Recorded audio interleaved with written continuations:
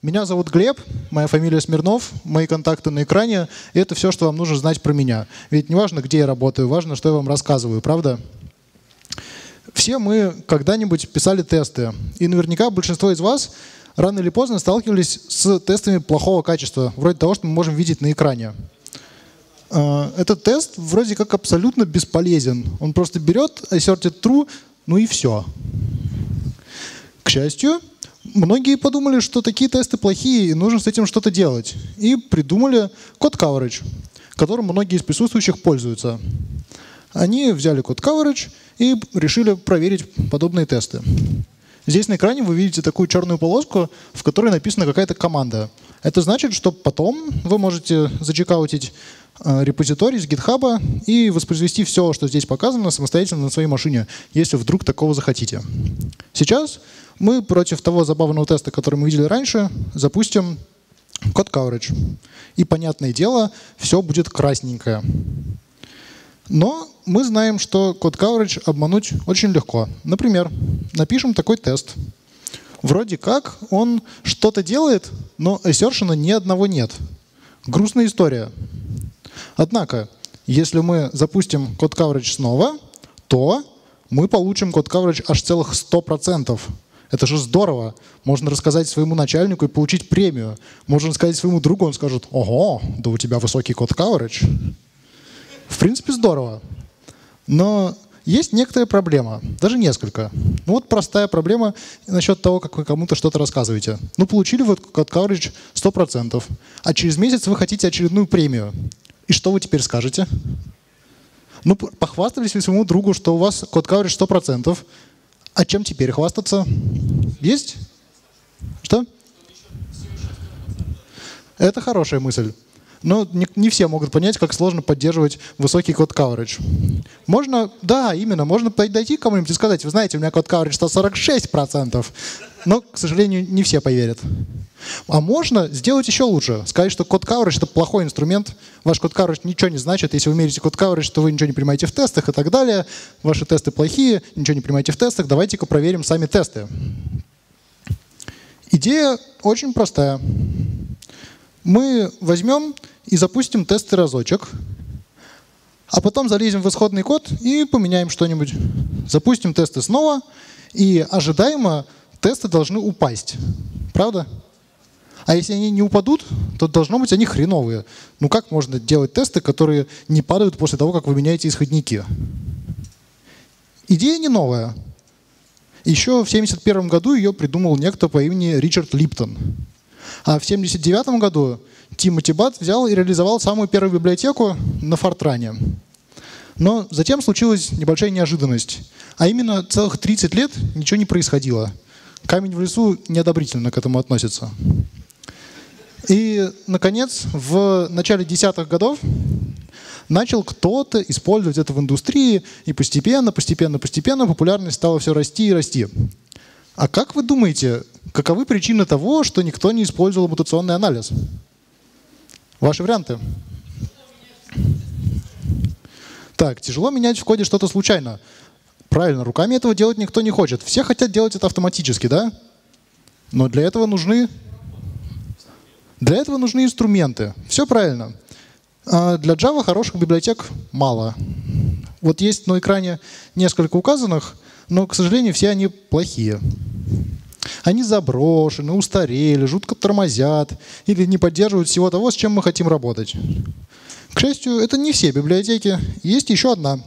Она называется PTest, она же PIT, и она классная. Есть такая табличка сравнений. А, простите. Она, во-первых, активно разрабатывается. Во-вторых, она работает довольно-таки быстро. В-третьих, у нее открытый исходный код. Welcome, контрибьютите сколько хотите. И она поддерживает и Java 7, скоро будет Java 8, и все Maven, G-юниты, всякие библиотеки для макирования и прочие счастья, которые мы хотим. Я для вас составил специальную табличку. Она довольно-таки большая, и в нее не очень хочется вчитываться, поэтому можно посмотреть только на цвета. Вот тут много красного, а в самом низу есть строчка, которая вся зеленая. Там yes, yes, yes, yes, yes, 6 из 6 и вчера. Э, если суммировать, то можно просто выкинуть эту табличку, на нее не смотреть и посмотреть на то, что питест жжет. Хорошая штука. Давайте тогда его возьмем и попробуем применить к нашему офигенному тесту, который имеет стопроцентный код coverage. Запускаем. И почему-то все строчки красные. Плохо. К счастью, для того, чтобы разобраться в проблеме, P-тест нам составил детальный отчет. Он выглядит примерно так. Вы знаете, я в 34 строчке поставил восклицательный знак, вот negated conditional. Запустил тесты, ни один тест не упал. То есть, другим языком, я создал мутанта, который имеет измененный исходный код. А этот мутант выжил. То есть ни один тест не упал после того, как эта мутация появилась. Это раз. На этом Пит не остановился. У нас был красивый return, а мы его заменили на следующую ужасающую конструкцию. Если мы собирались вернуть null, ну давайте швырнем runtime exception. Если мы не собирались вернуть null, то почему бы его не вернуть? После того, как мы сделали такое странное изменение, ни один тест снова не упал. Плохой тест. И третье. Второй бренч if мы заменили примерно на такую же конструкцию, в результате чего снова ни один тест не упал. Плохо, плохо, плохо, плохо. А, кроме того, мы поняли, что хм, а давайте-ка напишем нормальный тест, который что-то сертит, показывает и посещает все строки кода. Запустим нормальный тест и увидим, что все строчки в отчете стали зелеными. И те, кто видит нижние строчки на проекторе, такие есть вообще люди? А там еще ничего нет, вы ничего не видите. А теперь видно? Здорово. Соответственно, здесь мы говорим о том, что вот в 34 строчке мы добавили восклицательный знак, но тесты упали. Потом мы сделали еще одну страшную мутацию, еще одну. Все тесты упали, все зелененькое. Соответственно, строчка подсвечивается зеленым цветом и считается покрытой мутационным кавераджем. В том случае, если все мутации, которые на эту строчку пришлись, были убиты тестами. Кстати, последняя строчка видна?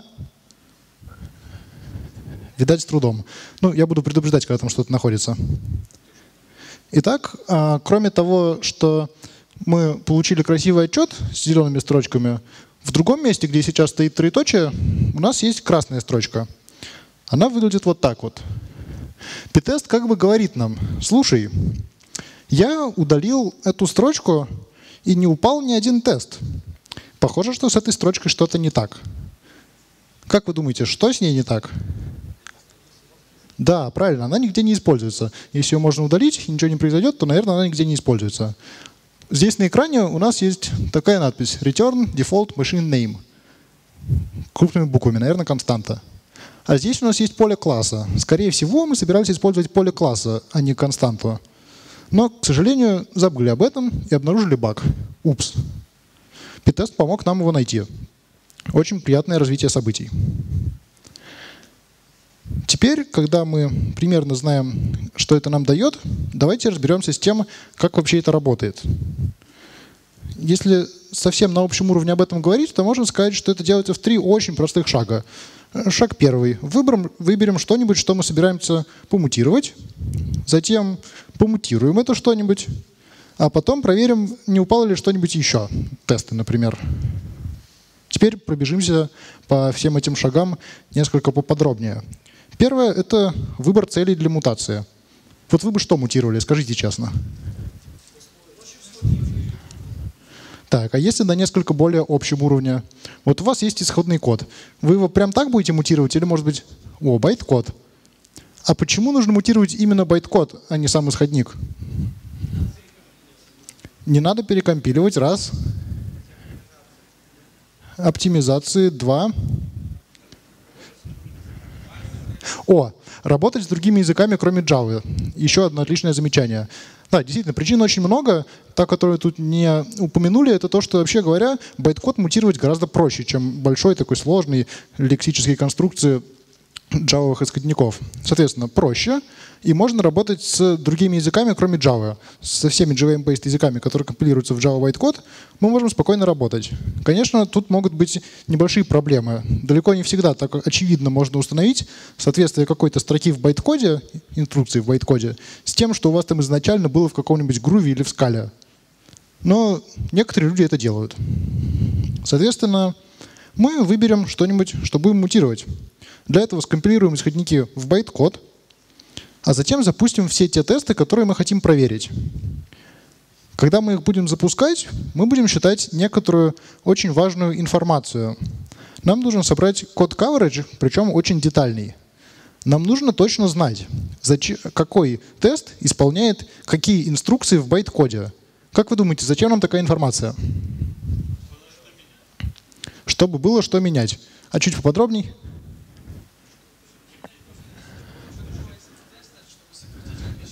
Да, правильно, чтобы сократить количество тестов, которые мы проводим. Если мы будем мутировать вообще все и запускать для вообще всего все тесты, то мы будем работать безумно долго. Понятное дело, мы этого не хотим. Мы хотим запускать только то, что нас интересует. Поэтому соберем код coverage и запомним, кто кого исполняет. Дальше мы создадим мутантов. А, для этого мы будем использовать ASM. Есть кто-нибудь, кто не знает, что это такое? Есть несколько человек, поясню. Это очень хорошая Java библиотека, которая позволяет э, работать с байткодом, менять его и все прочее прямо из Java. Очень многие ей пользуются, в том числе и P-тест. Соответственно, мы, когда генерируем мутантов, у нас от них, для них есть некоторый набор требований. Первый из них, самый понятный, это то, что мутации должны быть предсказуемыми и стабильными. Если мы запустили мутационный анализ один раз, то мы ожидаем, что в следующий раз результат будет такой же. Поэтому никаких рандомов, ничего такого допускать нельзя. Мы хотим стабильности. Далее мы хотим минимизировать число так называемых эквивалентных мутаций. Эквивалентная мутация — это то, в результате чего э, поведение программы никак не меняется. Например, у нас было какое-то поле у класса, мы ему присваивали 0. А потом мы убрали это присвоение, но дефолтное значение же все равно 0. Мутация эквивалентная. Если у нас есть эквивалентные мутации, то, скорее всего, у нас будут ложные срабатывания в отчете и куча хлама, который мы не хотим видеть. Поэтому число эквивалентных мутаций мы стараемся минимизировать. Сейчас мы с вами пробежимся вкратце по списку мутаторов, которые доступны прямо из коробки. Первый из них довольно простой. У нас есть равенство и неравенство, и мы можем сделать их из строгих не строгими и наоборот.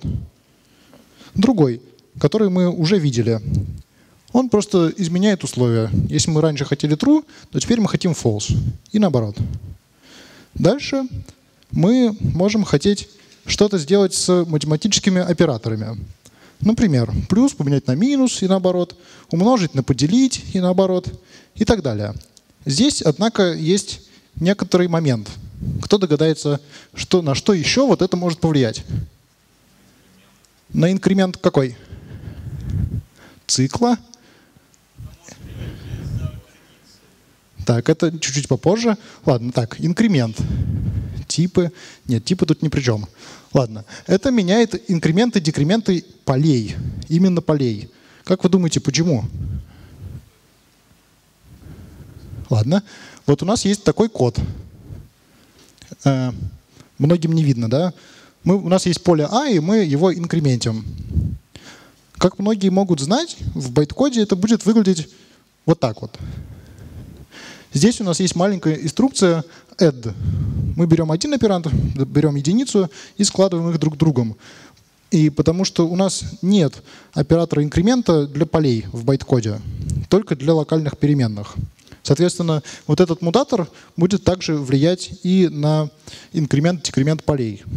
А для локальных переменных у нас есть отдельная операция в байткоде, поэтому мы можем инкремент менять на декремент. И наоборот. Дальше у нас есть мутатор, который добавляет или убирает мутатор, а, добавляет или убирает унарный минус. И есть мутатор, который меняет значение, которое возвращает метод. Как правило, это становится значение по умолчанию, либо null, либо меняет true на false. Соответственно, дальше мы можем просто взять и выкинуть вызов void метода. Заменим его красноречивой пустотой, которую вы видите на экране. Довольно-таки полезная мутация, если мы хотим проверить, действительно ли полезно вызывать метод. Дальше у нас есть еще отдельный класс мутаций. Они могут быть замечены, потому что тут красно подписано, что они выключены по умолчанию. Для того может быть много причин, и каждую из них будем рассматривать отдельно. В данном случае у нас мутатор берет и меняет какое-то значение, которое присваивается не final, а локальным переменным. Почему, как вы думаете, это выключено по умолчанию? Скорость. Не всегда влияет на результат. Хорошо, что еще? Ну ладно. А, это может еще порождать очень много runtime эксепшенов. Когда вы просто так берете и присваиваете непонятно что, непонятно чему в локальной переменной, которую ваш код, по идее, только что присвоил, ожидает, что ее значение будет таким, какой он присвоил, то может возникнуть неожиданное исключение, там с математикой или еще что-нибудь. А как многие из нас знают, далеко не все тесты как следует проверяют наличие runtime эксепшенов. И в результате, вместо того, чтобы тест завел состояние failed после мутации, он будет иметь состояние error, что нам не особо о чем-то говорит. Дальше у нас есть возможность взять и выкинуть вызов не войдового метода и заменить возвращаемое значение значением по умолчанию, там нулом, нулем, false и так далее. Соответственно, здесь мы можем получить и много эквивалентных мутаций, и очень много null pointer, null pointer. Это грустная история, она опять будет замусоривать нам отчет. Мы такого не хотим. Дальше точно так же благополучно мы можем выкинуть вызов конструктора – и это, опять же, приведет нам, нас к огромному числу null pointer exception. Счастья от этого мало. Дальше у нас есть еще одна штука, которая меняет э, константы локальные. И она, в принципе, похожа по своей сути на то, что мы видели чуть-чуть-чуть раньше, но с той, которую мы видели раньше, была небольшая проблема, она была не очень консистентна. Например, там вместо min value для байта был бы 0 а для инта был бы min value. И вроде как не очень логично. Поэтому комьюнити посмотрела на это дело и решила, а давайте-ка заменим это на что-то новое. Пока что не до конца дотестировали, поэтому экспериментал. И поэтому по умолчанию выключено.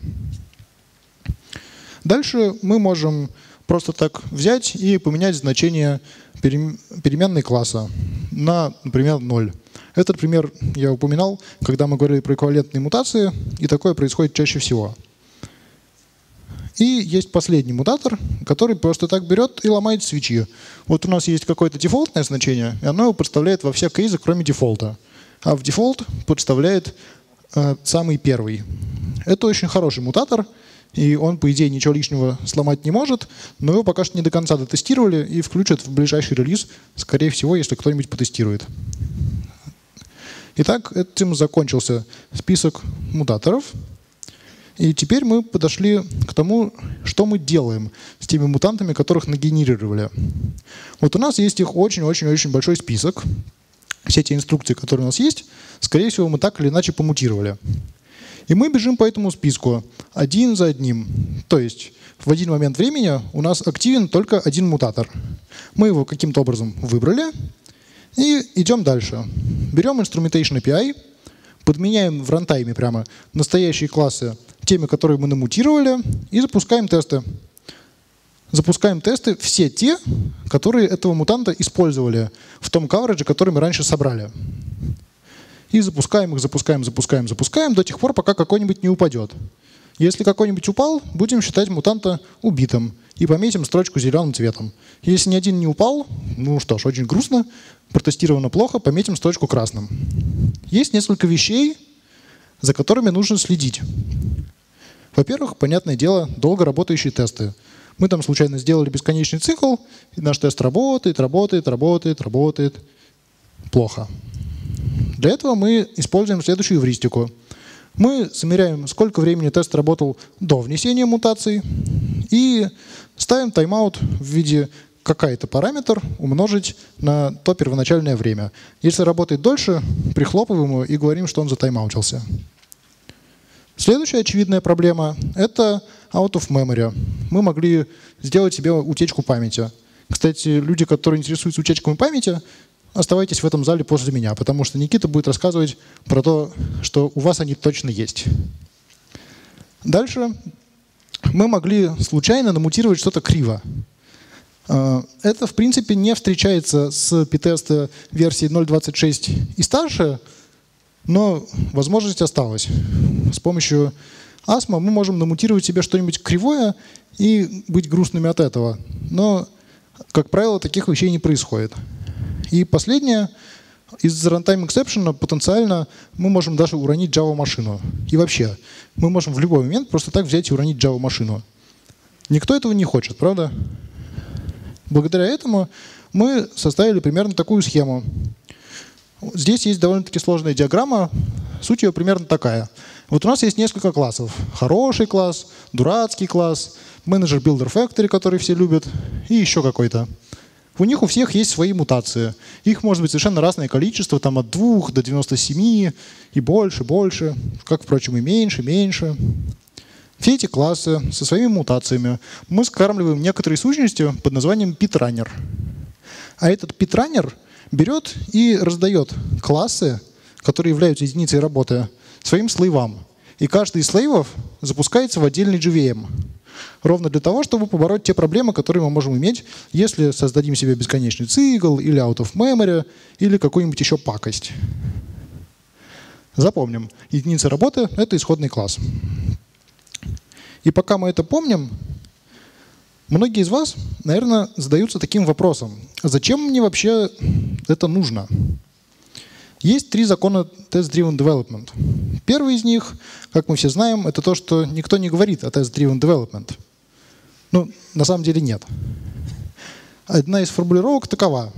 Во-первых, нельзя писать продакшн код, если это не чинит падающий тест. Второй. Если, а, нельзя писать тестов больше, чем нужно для того, чтобы создать ошибку. При том, что ошибка компиляции — это тоже ошибка.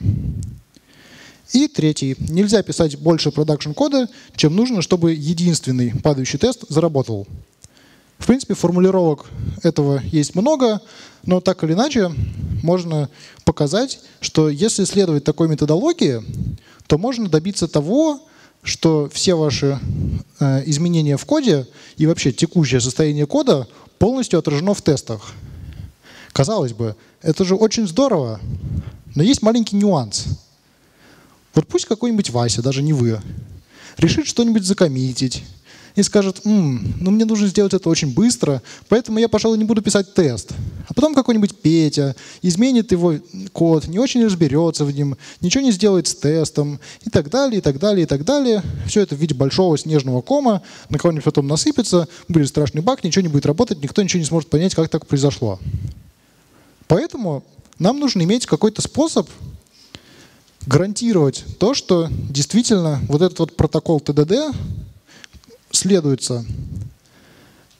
Один способ — это иметь обязательный код-ревью. В принципе, хорошо, но это занимает очень много человеческого времени, и далеко не всегда все компании себе могут это позволить. Поэтому можно использовать PIT. Он дает вам полную уверенность в ваших тестах. Вы может быть, можете быть уверены в том, что каждая строчка которая покрыта зелененьким UPI-теста, отражена в тестах. И у вас в коде нет ничего другого, если оно подсвечено зеленым. Это очень здорово. И вот вам пример success story. Есть такая компания theladders.com. Они занимаются рекрутингом, прочими веселыми вещами.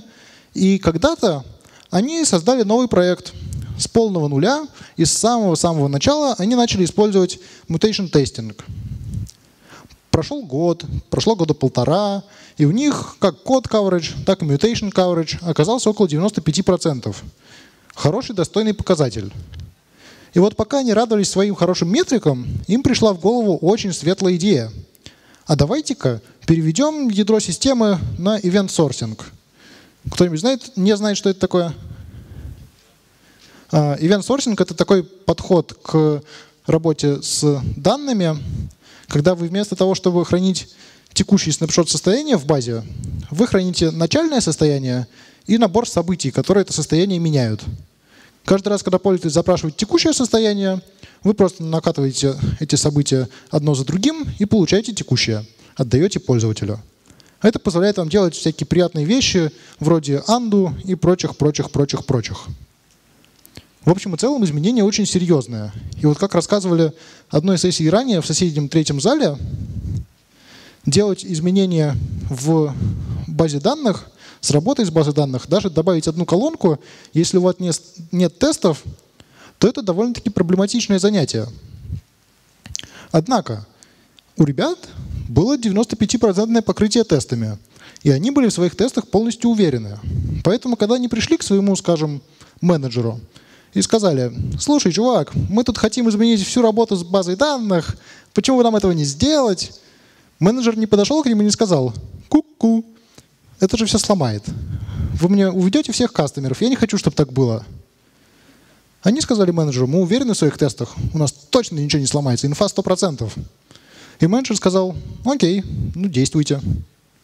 Соответственно, они взяли, провели свой страшный мега-супер рефакторинг, добились того, чтобы все тесты выходили и выкатились в продакшн. Как вы думаете, что произошло дальше? А, как вы быстро догадались. Обычно люди говорили, что все либо сразу сломалось, либо на следующий день, либо вот ночью, когда все только легли спать и думали, что все наконец-то работает, а потом у них всякие алерты, они проснулись, им было грустно. Но это же success story. Ни единого разрыва. С того момента, как они выкатились, до того момента, когда я спросил, прошло где-то 4 месяца, и у них не было ни единой проблемы, которая связана с этим рефакторингом. Это настоящий success, по-моему. Однако, кроме того вопроса, который мы только что рассмотрели, то есть зачем, есть еще один вопрос, который наверняка у многих на уме. У нас получается много инструкций в коде, у нас получается много тестов, и нам нужно каждый тест для очень многих инструкций запустить. Это же должно жутко, жутко, жутко тормозить. Правда? Мне вот Шепелев недавно сказал, что неправда. Потому что оно должно медленно работать, а не тормозить. Но это вопрос довольно-таки философский. Вот что такое тормозить? Это работать недостаточно быстро. То есть работать медленнее, чем нам бы того хотелось. А нам, понятное дело, всем хочется, чтобы все работало моментально. Отсюда философский вывод. Все всегда тормозит. Это грустно, но мы можем хоть как-то с этим бороться. Давайте протестируем то, насколько сильно тормозит P-тест. Возьмет какую-нибудь большую, хорошую библиотеку, которая как следует покрыта тестами. Вот вы бы что взяли? Spring, еще? Apache. О, Apache это хороший префикс, но у них так много всего. Ну, я взял Apache Commons Math, потому что там очень много сложных математических алгоритмов. Соответственно, на строку там приходится какое-то умопомрачительное число мутаций. У нас там сложение, вычитание, суффиксы, префиксы и так далее, и так далее, и так далее. И всего этого добра у нас там 177 тысяч строк кода. И на эти 177 тысяч строк кода у нас еще и есть 5 тысяч, строк, 5 э, тысяч тестов и 109 тысяч строк в них. Соответственно, отличный кандидат. Вот тут есть маленькая команда, которую вы можете выполнить, чтобы запустить бичмарк у себя. Это зачекаутит Commons Math и применит к нему маленький патчик, который позволит ему работать с питестом. А, для того, чтобы понять вообще, а с чем сравнивать, давайте посчитаем, посмотрим, как долго считается код coverage для Apache Commons Math 3.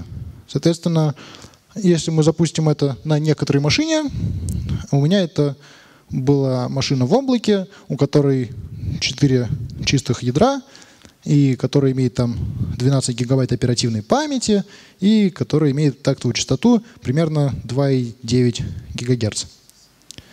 А, после того, как мы все это запустим, мы увидим, какой код coverage у Commons Math 3.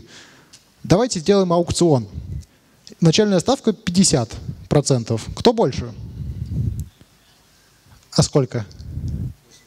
80. Так, можно только больше. Это неправильно, аукцион получится. 80 раз.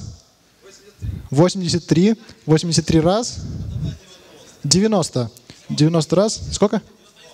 91 с половиной. Какие половины? Там никто не показывает половины. Ладно, пусть будет 91 с половиной. На самом деле 92. Если округлить, то получится как раз то самое. Если бы у меня был какой-нибудь бонус в виде футболки, я бы обязательно в вас и кинул, но у меня нет. Можете попросить у Баруха, он поделится. В прошлый раз инвайты раздавал, в этот раз может дать вам футболку. Итак, 92% это здорово. Но здесь важно сделать одно лирическое отступление. Вау, вау, вау. Мы занимаемся измерением производительности. Этим нельзя заниматься просто так. В данном случае Maven очень часто может выкачивать кучу джарников при первом запуске какого-то гола на каком-то проекте. И это точно убьет наши измерения, поэтому можно их смело выкидывать. Брать как минимум вторые. Но вообще вот есть кто-нибудь, кто не знает этого человека? Это такой Алексей Шепелев, он занимается производительностью в Oracle, измеряет GVM, измеряет все, измеряет все. Его еще кто-то называет the tsar of benchmarks. В общем, если вы подойдете к нему и скажете, что сделали бенчмарки, то будьте готовы, он тоже много чего вам может сказать. А, это будет звучать примерно как «делайте бенчмарки хорошо и не делайте их плохо», если перевести этого на вежливый язык. Соответственно, я постарался делать их хорошо, и мне Леша про них ничего не сказал. Будем надеяться, что они действительно хорошие. Те значения, которые вы здесь видите, они довольно-таки точные. Там погрешность может быть 5, может быть 3%. Но в общем и целом достаточно хорошо, чтобы можно было этому верить. Что еще раз? Это без пита, это чистый код coverage. Теперь будет пит. Запустим его и посмотрим на время.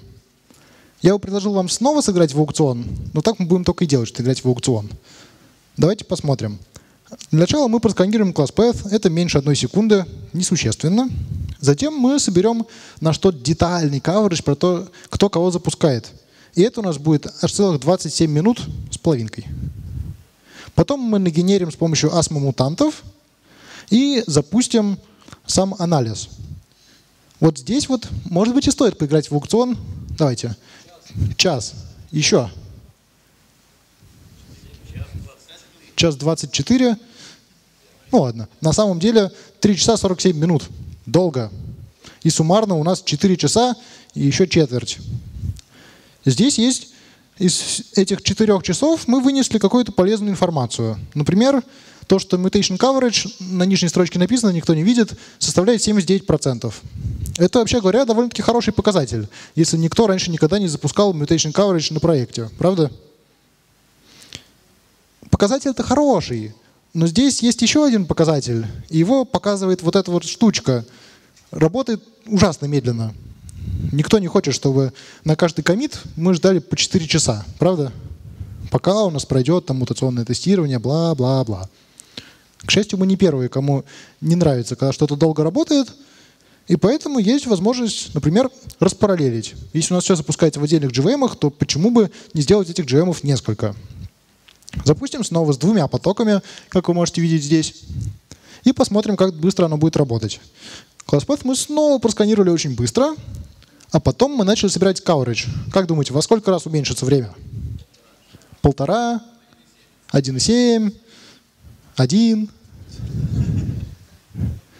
Оказывается, что сбор coverage и dependency просто не параллелится в той версии, на которой я это запускал. Об этом чуть-чуть попозже. Зато создание мутантов параллелиться стало в два раза быстрее. Очень здорово. Не 7 секунд, а 3. Ну, улучшение производительности в два раза. Можно похвастаться. Да, правильно. Окей. А остальное у нас выполнилось за 2 часа 2 минуты. И суммарно 2,5 часа. Улучшение, в принципе, довольно-таки близко к линейному. Можно считать, что там есть какие-то оверхеды, какие-то бла, какие-то другие бла. Но лучше вместо того, чтобы рассуждать, давайте запустим это на еще другом числе потоков. Здесь есть от 1 до 4 потоков, соответственно, по горизонтали слева меньше потоков, справа больше потоков. А вверх это время. Далее вот нижний столбик, который по цвету на этом проекторе плохо отличается от остальных столбиков, это время на сбор кавериджа. Оно у нас не меняется, потому что coverage не параллелится. Средний столбик или вот этот, или вот этот, или вот этот, это наше теоретическое предсказание времени того, как, будет, как долго будет работать сбор анализа. Соответственно, вот этот вот столбик в два раза больше, чем вот этот. В три больше, чем вот этот, и в четыре больше, чем вот этот. А еще совсем сверху у нас есть такой светло-светло-розовый столбик, маленький. Это разница между тем, как было задумано в теории, и тем, как получилось на самом деле. На самом деле, как мы можем видеть, получается все медленнее и медленнее. И если бы у нас была машина, скажем, с 24 ядрами, а у меня она, кстати, была, когда я готовил прошлую версию этого доклада, и там я тоже запускал эти бенчмарки. И картина была еще более грустной. Начиная где-то с 10 потоков, мы уперлись. И быстрее, чем ну, где-то вот, вот столько, не получалось. Как вы думаете, в чем же может быть дело? Что же у нас так плохо параллелится? Тесты. Да, тесты плохо параллелятся. Это правильный ответ. Ладно, давайте не будем так голо спекулировать. Давайте хоть куда-нибудь посмотрим. Например, на загрузку CPU. Вот у нас есть 4 треда, 4 ядра. И одно из них работает все время, а остальные три хоп, берут и прекращают работать, а последнее молотит, молотит, молотит, молотит. И явно что-то здесь пошло не так. Мы же вроде как распараллелили, а работает только одно из четырех. Так не должно быть? Что? Агрегация данных. Нет, наверное, нет. Еще варианты? Не может же агрегация данных занимать больше половины времени? Синхронизация. Еще? Garbage коллектор. Не, вряд ли. Ладно, не буду томить. Помните, у нас была единица работы, это один класс. А что если у нас есть один жирный класс? То все закончат свою работу, а он будет работать дальше, потому что он может. В принципе, проблема довольно-таки серьезная. Я был огорчен этой картиной, когда я увидел, и обратился в комьюнити питеста. Создатель сказал, окей, чувак, это серьезная проблема, я работаю над ней, я решу ее, и я решил ее. Вот так. Мы взяли эти классы, отсортировали их по тому, сколько в них мутаций, и чем больше мутаций, тем раньше мы их запускаем. Картина стала такой.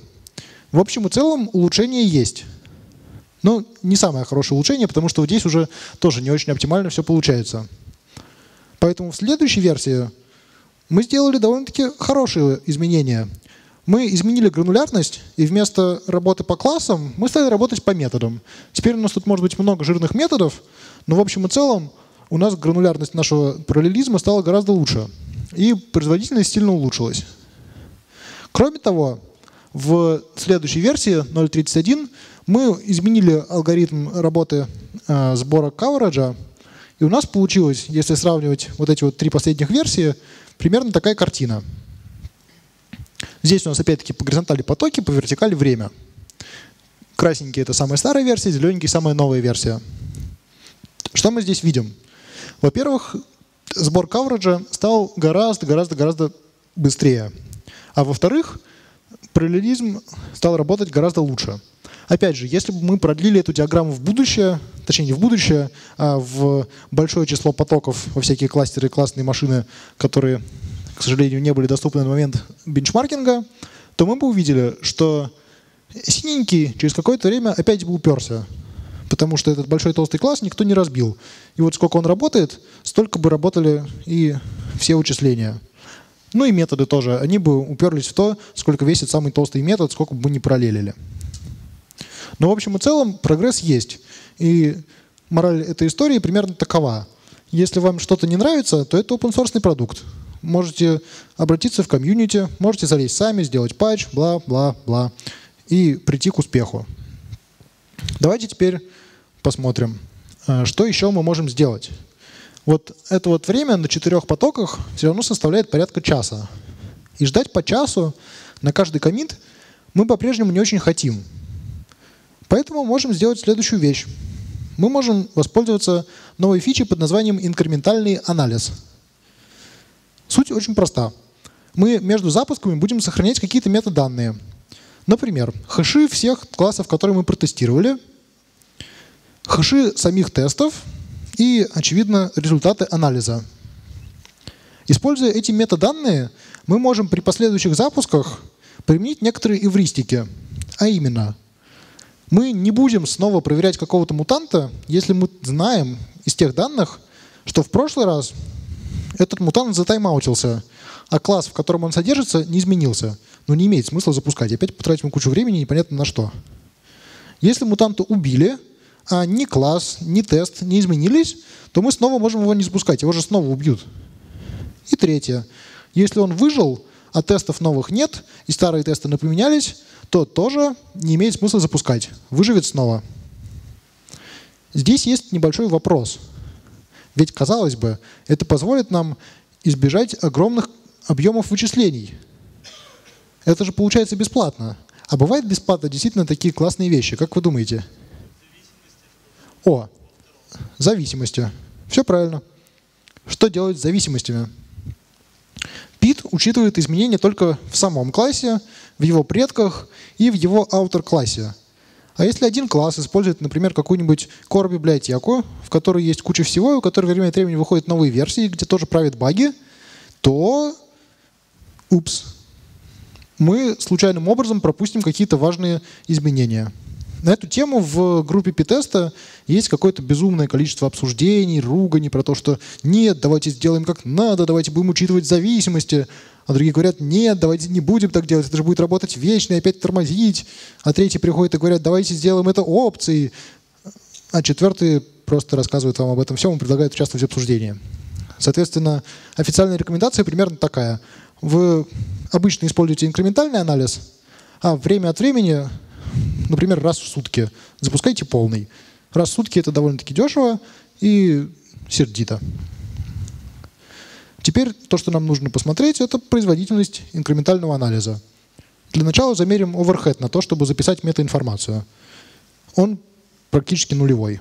Вот мы как запускали за час с небольшим, так у нас и получилось. Оверхед там может быть 2%, тупо на то, чтобы записать данные на диск. И вы знаете, вот я мерил все эти бенчмарки, и P-тест, у него есть такая папочка с отчетами. И вот на Apache Commons Math 3 этих отчетов генерировалось просто какое-то безумное количество. Я в них пару раз пробовал заглянуть и понимал, что у, как много, давайте не буду смотреть. А потом дошел по плану доклада до инкрементального анализа и понял, что надо привести пример с изменениями, и заглянуть пришлось. Пришлось мне, придется и вам. Вот у нас есть классный пакет, который занимается линейной алгеброй. И вот у нас есть какой-то метод, который над каким-то там полем создает единичную матрицу. И ПТС нам вдруг говорит, ты знаешь, вот тут есть двухсотая строчка, которая заполняет строчку в матрице нулями. А я эту строчку удалил, и у тебя не попадали тесты. Мне кажется, что ты что-то делаешь не так. Хм, давайте разбираться. У нас есть здесь еще один подозрительный метод. Называется mathArrays.buildArray.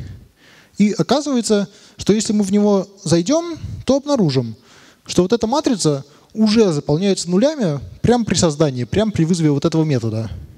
И вот этот метод действительно не нужен. Можем просто взять его и удалить. А потом посмотреть, что получится дальше и как долго будет работать наш новый инкрементальный анализ. Для начала мы снова соберем coverage, потому что мы знаем, что он нужен. Но в новой версии, к счастью, он работает всего лишь каких-то жалких 7 минут вместо получаса. И мы можем себе такое позволить. А затем мы запустим мутационный анализ, который будет выполняться всего лишь 56 секунд. И наш grand total окажется 9 минут, и позволить себе 9 минут на каждый комит, мне кажется, что в принципе вполне себе можно. Это очень приятно. Более того, если мы возьмем какой-нибудь другой проект, который не занимается тем, что умножает числа друг на друга, складывает, вычитает и делает кучу страшных вещей, которые только и делают, что мутируешь, мутируешь по самым помидоры себе. Возьмем, например, Joda Time. Все знают, что такое Joda Time, правда? Кто-нибудь не знает? Да, можете не узнавать, все равно скоро не будет. В Java 8 Joda Time каким-то магическим образом вольется туда, и там будет что-то очень похожее на Joda Time, но будет называться Java Time API. Соответственно, Joda Time — это библиотека, в которой 68 тысяч строк кода и 70 тысяч строк кода в тестах. Хороший показатель. Но еще более хороший показатель — это то, что на ноутбуке это выполняется за 5 минут. вместо какого-то там безумного количества времени. И вот этот пример на самом деле больше всего показывает то, насколько P-тест готов к тому, чтобы его использовать в продакшене. Соответственно, призыв используйте в продакшене. Хотите что-то почитать? Читайте вот по этим ссылкам. Хотите повторить сами? Чекаутитесь с гитхаба. Хотите снова посмотреть презентацию? QR-код в студии. На этом то, что я хотел рассказать, заканчивается, а теперь есть то, что хотите спросить вы. Спрашивайте. А QR-код не? Вот тут его сейчас фотографируют. Давайте подождем тех, кто распознает QR-код. Да. Да, полный анализ, не инкрементальный, полный. Еще? Да.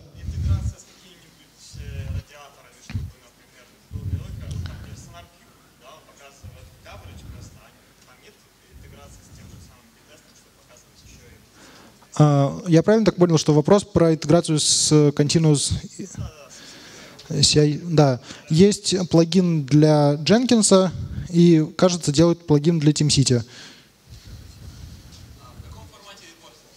Репорт в формате XML, в формате HTML, и можно написать свои форматеры. Да? Да, можно сказать, что для такого-то пакета используются такие-то мутаторы, для такого-то такие-то и так далее.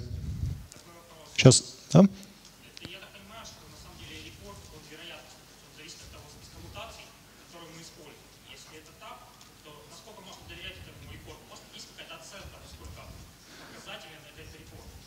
Вопрос, если кто не слышал, про то, насколько можно доверять этим мутаторам, потому что, да, действительно, они не могут покрыть вообще все возможные изменения кода. Ну, на этот вопрос сложно дать ответ. Я бы сказал, ну, надежно где-то на 10 абстрактных кроликов в вакууме. То есть нет, особо нельзя. Но эмпирически, если вот верить success story от разных людей, то помогает очень хорошо. Есть истории про то, как на уже существующий проект внедряли мутационный анализ, и это сильно улучшало их показатели. Через какое-то время их объем багов, число багов в неделю сильно уменьшалось. Да? А, интеграция с IDE. Есть не очень хорошо работающий плагин для идеи, есть довольно-таки хорошо работающий плагин для Eclipse, но и вообще проект open source, если хотите заинтегрировать, например, с NetBeans, то на здоровье. Да, еще? Да, можно, можно в конфиге прямо указать, что вот этот тест, пожалуйста, не трогайте. Например, для того же Commons Math 3 у нее есть перформанс-тесты, которые работают по полчаса каждый. Понятное дело, я их отключил, чтобы их не мутировать. Да, еще? А это вроде она и есть? А, а вы можете просто зачекаутить и посмотреть, нет? Никто не против, чтобы я переключил прямо сейчас на страницу раньше? Ну, видимо, не против. Это полезно почитать. Ваши вопросы? Если нет, то тогда можете поговорить со мной еще где-нибудь в куларах, можете писать на почту, а так все.